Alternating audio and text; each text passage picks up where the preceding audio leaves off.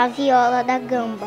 É um instrumento antigo. Avô do violino. Da viola e do violoncelo. Seu nome significa viola de perna pois para tocá-lo, o músico precisa apoiá-la entre os joelhos como cello. Diferente dos demais instrumentos desta família, ela possui seis ou sete cordas. No passado, ela era tão usada que as famílias nobres possuíam uma cesta com vários tamanhos de viola da gama, num total de cinco tamanhos diferentes.